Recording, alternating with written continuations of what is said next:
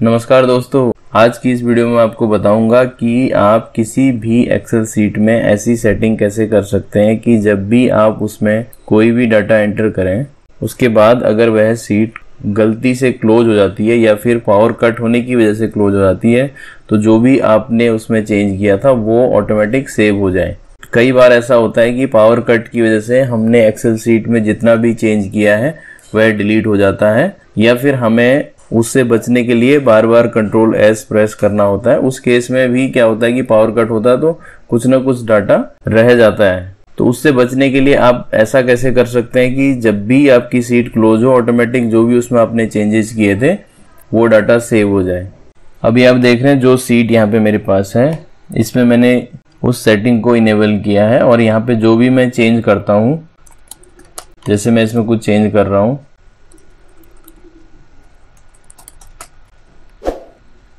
मैं यहाँ पे कुछ डाटा एंटर कर रहा हूँ।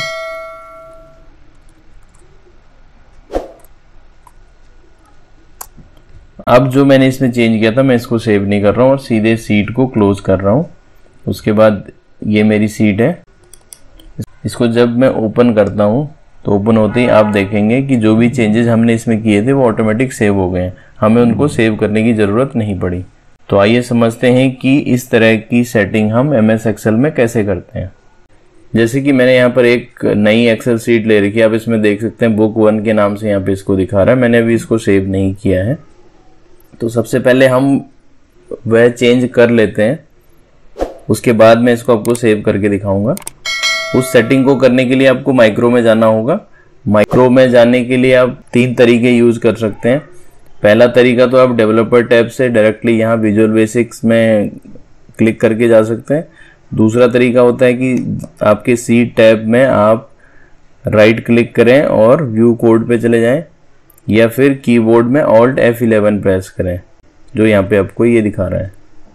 जब आप यहाँ क्लिक करेंगे तो इस तरीके की एक स्क्रीन आपके सामने खुल के आएगी। इसमें आपको दिस वर्क बुक सेलेक्ट करना है, और जहाँ पर इधर पहला ऑप्शन जर्नल का आ रहा है, इसको वर्कशीट कर देना है, और सिलेक्शन चेंज ऑप्शन जो भी यहाँ पे आपको दिख रहा हो जैसे मेरे को यहाँ पे सिलेक्शन चेंज दिख रहा है। आप यहाँ से स्क्रॉल डाउन से आप यहाँ पर चेंज ऑप्शन ले लें और उसके बाद आपको एक सिंपल सा कोड लिखना है। एक्टिव वर्कबुक डॉट सेव यह सिंपल सा कोड आपको लिखना है। मैं इस कोड को डिस्क्रिप्शन बॉक्स में दे दूँगा। आप वहाँ से कॉपी करके पेस्ट कर सकते हैं। उसके बाद आप इसको क्लोज कर सकते हैं और इसके बाद एक्सेल सीट को आपको सेव करना है। अगर आप किसी पुरानी एक्सेल सीट को ओपन कर रहे हैं, उसमें यह चेंज कर रहे हैं तो उसको सेव है ज़रूर कर लें।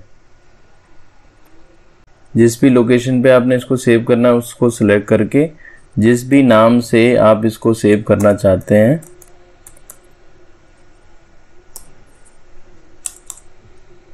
वह एंटर करने के बाद आपको यहाँ पे एक चीज़ ध्यान रखना है कि सेव एज टाइप में एक्सेल वर्कबुक की जगह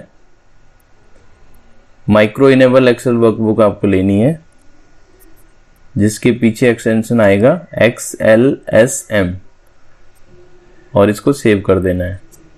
अब आप इस सीट में जो भी चेंज करेंगे, वो ऑटोमेटिक सेव हो जाएगा। जब भी आप इसमें कोई भी डाटा लिख रहे हैं, जैसे मैं इसमें बहुत सारा डाटा लिख लेता हूँ पहले